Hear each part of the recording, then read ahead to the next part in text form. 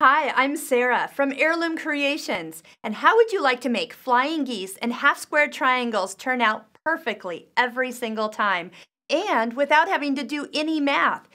You can do it all with the Flying Geese times 4 ruler. This is a ruler that I have had from the beginning of when I started quilting. Fell in love with it. So much so I actually bought two of them. But I'm going to show you today how simple this is and how when using this ruler you always work with finished sizes. So you're never having to calculate whether it's a half inch or more. It's all super simple. Now the quilt behind me is like a sampler and a lot of sampler quilts are made up with half square triangles and flying geese. And how simple this will be when you actually use this ruler. Now remember, you're going to end up with four every time you do the, this type of technique. So my first time I did it, I forgot to divide by four. I think I had a bigger flock of geese than I realized. So let's get to it and I'll show you how easy it is. Working with this ruler, the flying geese times four, you are going to need a total of one big square and four smaller squares, all cut from one ruler. That's one thing I like. So first off, everything is measured in finished sizes. So two inch by four inch or all the way up to three and a half by seven. And small, three quarters by one and a half. It's wonderful. All you need to do, this is gonna be my big square. So I'm gonna line up the F square along my fabric using a long ruler for cutting. I'm gonna line that up and just hug that and cut. Then all my squares can be cut from this. Now, once again, don't forget your math of dividing by 4 because it doesn't take much for you to end up with more than you bargained for.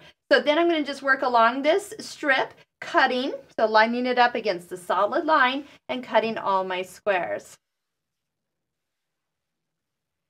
Once again, for the smaller strips, I'm going to find the F line. This time on the smaller side, the dotted line side, I'm going to find the F line, line that up. We'll get a nice clean cut for these squares. Up there, one long cut.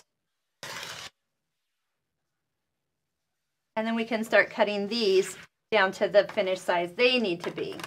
So it's nice if you know your letters, your ABCs, you can follow this ruler. Really made it easy. Since we're going to need four, we'll go ahead and cut these off. Next, we need to draw lines, diagonal lines on the wrong side. And when possible, work with the lighter side.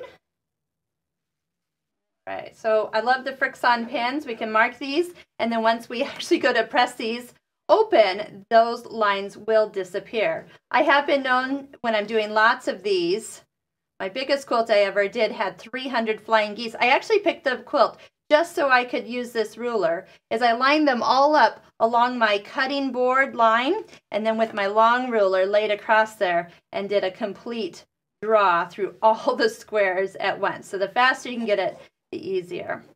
Okay, we got four squares marked. We're going to now lay them on our large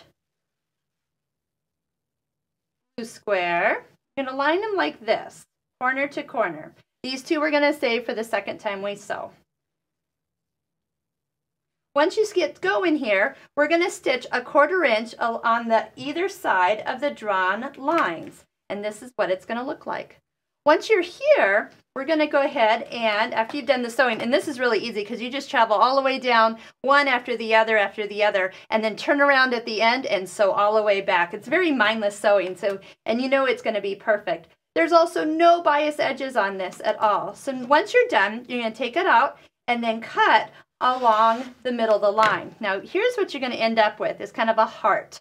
That shape is going to look like that next. Now I'm going to go ahead and press these open. You don't see any pink lines after I've pressed out that FriXion pen. The last one is we're going to take our little hearts that we've kind of created. Take one of the squares that is left, put it right here, and once again, stitch on both sides, one quarter inch away from that edge. So it's going to look like this. Once again, it looks like a whole flock of geese going through your sewing machine. Again, very easy to do. And then once you actually cut these open, that's where your blocks are done. Ta-da! And they're perfect. Oh my goodness. When you start putting these together or even trimming them up, you're going to notice that there will be very little trimming to do. And other than just maybe trimming off the extra nose from the triangles just to eliminate bulk, this is a wonderful ruler. There's a lot of other blocks and combinations uh, from half square triangles to uh, triple triangles. This is a ruler that you can adapt any quilt pattern to because it all works with those wonderful finished sizes.